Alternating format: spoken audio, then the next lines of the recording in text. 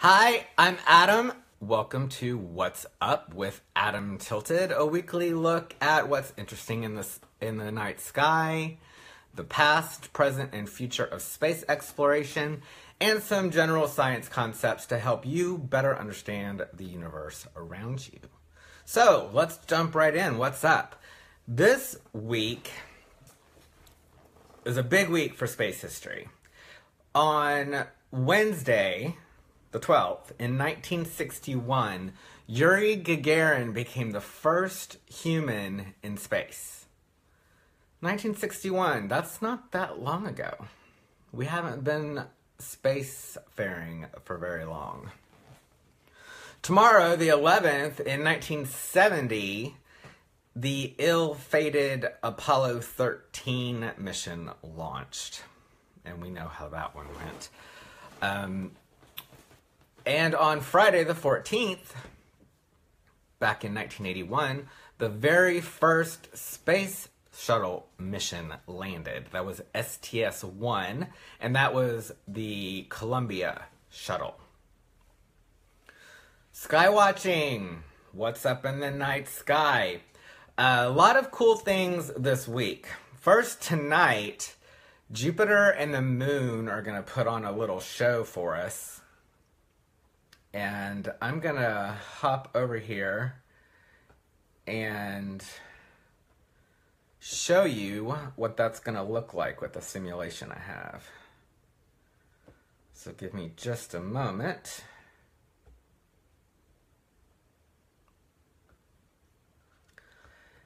And while I'm setting up this simulation, uh, I want to say first, thanks for joining. And I will be here every week at 10 a.m. Central. Um, so if you have questions, you can leave them in the comments. you can email them to me at adamtilted at gmail.com. And um, I will try to get to them either in this broadcast or next week. So the um, pairing of the moon and Jupiter. So I've got this. Let me switch this around for a second.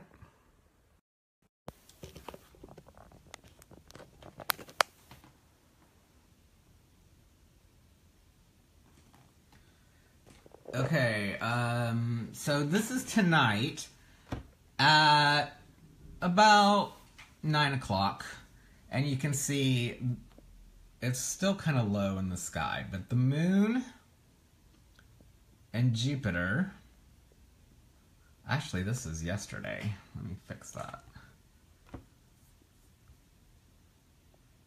This is today. You see, the moon and Jupiter are very close to each other. They're two degrees apart in the sky. And this is all in the constellation Virgo. The star Spica is pretty bright, so you should be able to see that pretty easily. Um, this is low in the eastern sky just after sunset. As the night goes on, uh, that will rise higher and higher up into the sky. And um, all the way up until sunrise. The morning. All right, so um, sorry, I knew that was gonna happen. Jake, the joys of live broadcasting. Okay. The cat is outside. All right, so tonight, uh, look up after dark, find the moon. You'll see Jupiter nearby and Spica. Um, and you'll also know that that is where the constellation Virgo is tomorrow tomorrow morning at 2:08 a.m. Eastern Time, the moon reaches full. So um, the that means that the moon is on behind us and the sun is in front of us. We can see the entire side of the moon that is being lit by the sun. Um, typically, that is the worst time to stargaze because the light from the full moon kind of washes everything out. Even Jupiter, um, which is Jupiter, I think, is the third brightest object we can see. Um, the moon, Venus, then Jupiter. But even Jupiter will be a little washed out by the full moon tomorrow. Um, and the full moon is actually not the best time to look at it through telescope or binoculars, too, because it's so bright. Uh, the best time to do that is when it's in a crescent, and we'll talk about that later. But uh, full moon tomorrow morning, 2:08 a.m. Eastern time to be precise. On Saturday, the moon is going to be at apogee, and that means that it is going to be at, at its point in orbit that it's furthest away from us. It doesn't orbit the Earth in a perfect circle. It's more of an ellipse. So sometimes it's closer, sometimes it's further away. On Saturday, it reaches the point where it's furthest away from us. And that means that it will look a little smaller, but you're not going to notice. Unless you have the two moons right next to each other for comparison, you're not going to really notice a difference. On Sunday, we have another interesting pairing, this time with the moon and Saturn. So let's take a look that in the simulation. And Sa- Sunday is the 16th. You'll see the moon's getting lower and lower in the sky. Can't even see it now. So I'm going to have to move time ahead, and there you can see. So in order to see this pairing, you're going to have to stay up late. It'll rise in the east around uh, 2 a.m. Central Time, or you can see it uh, in the southwest just before sunrise if you get up before the sun rises. So those are some cool pairings. The um, the moon will be at let's see, it'll be at eh, it'll be almost a, a quarter. So it's not going to wash out Saturn too much. Saturn is not very bright, but it does have a distinct yellow coloring to it. So if you know where it is and you know what you're looking for, you can usually find it.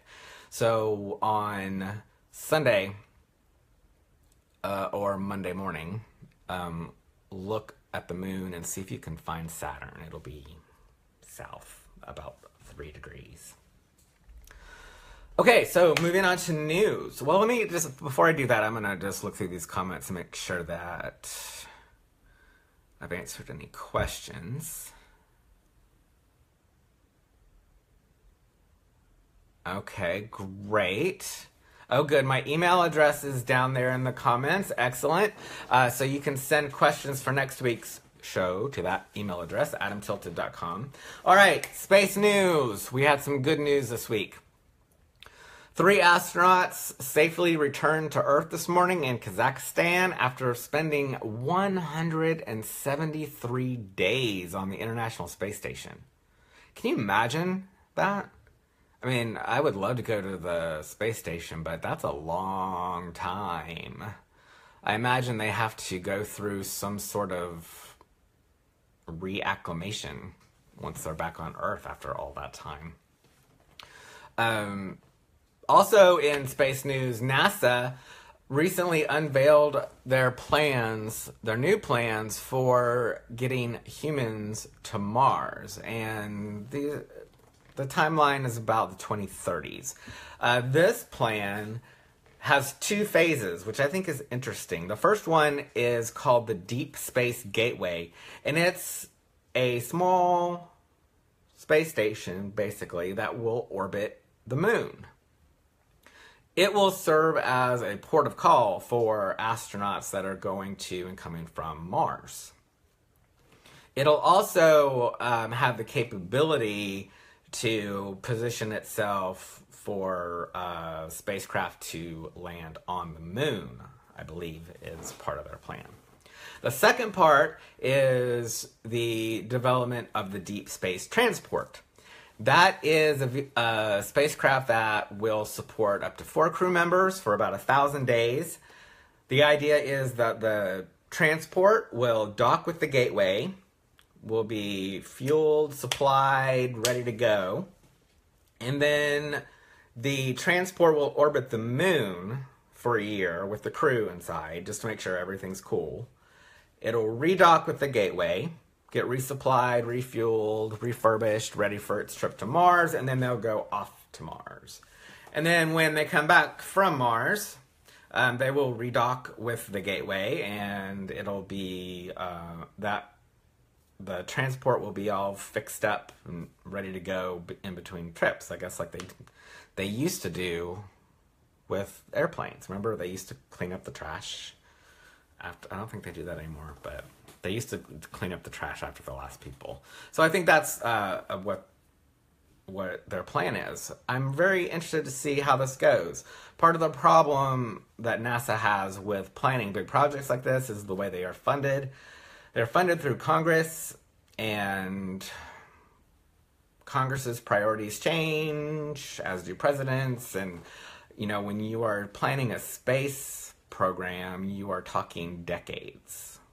And that can be, you know, three, four presidents, and who knows how many different combinations of people in Congress that either do or don't want to fund this. So it's hard to it's hard to fund it. It's hard to do it if you don't know that the money is going to come.